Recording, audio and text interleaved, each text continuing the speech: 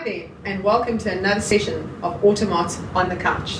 Today we will have another member of our online Automart team in the visitor seat, Adeline. Hello. She's a locomotoring enthusiast, especially when it comes to old school muscle cars.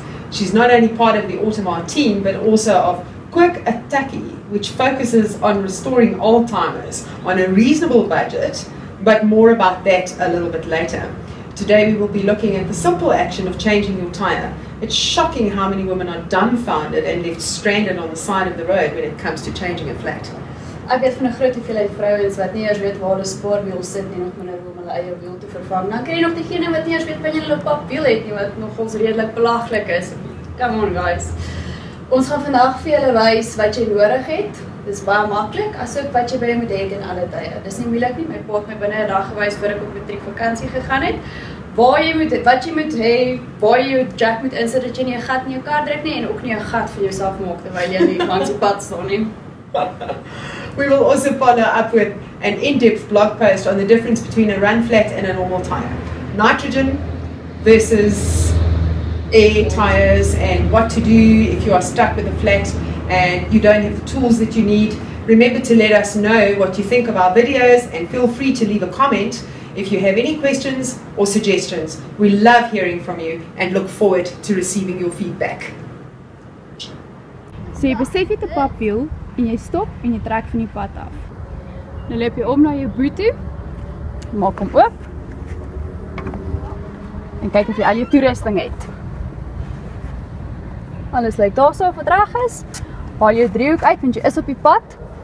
Veiligheid. Nou verder haal jy al jou toerusting uit wat jy genodig het. Jou jack, spanner. Ja, en jou ander jack, afhangende van hoe lank jy hier langs die pad gaan sit as jy weet wat jy doen of nie. Dan begin jy jou spaarwiel uithaal. Haal jy jou spaarwiel uit. Ouer karre het 'n crossbeam wat dwars oor hardloop wat breed is wat jy sal sien waar jou jack kan insit. My nuwe karre het 'n lippie wat daarso inpas. Wees verseker dat jy hom daar inpas anders gaan jy gat in jou body druk.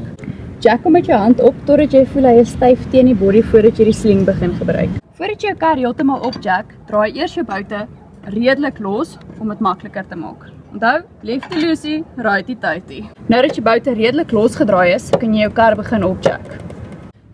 Jy jack jou kar op totdat daar 'n handspasie is onder jou tyre.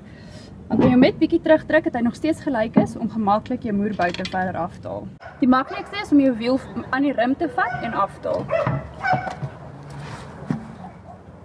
Voordat jy jou wiel fisies opsit, probeer die gate align dat dit gelyk sit met die boute. As jou wiel op is, druk hom so 'n bietjie met jou been vas sodat hy net lekker stewig daar sit en begin jou boute weer met die hand vasdraai tot teenoor. Nadat jy jou boute vasgedraai het so styf soos wat jy kon met jou hand, kan jy jou kar stadig weer begin afjack voordat jy die boute verder met die spanner vasdraai. Nadat jy 'n innocent victim gespeel het en 'n mooi meisie gekry het om jou wiel vir jou om te ruil, is jy reg om te rol. Geniet hom.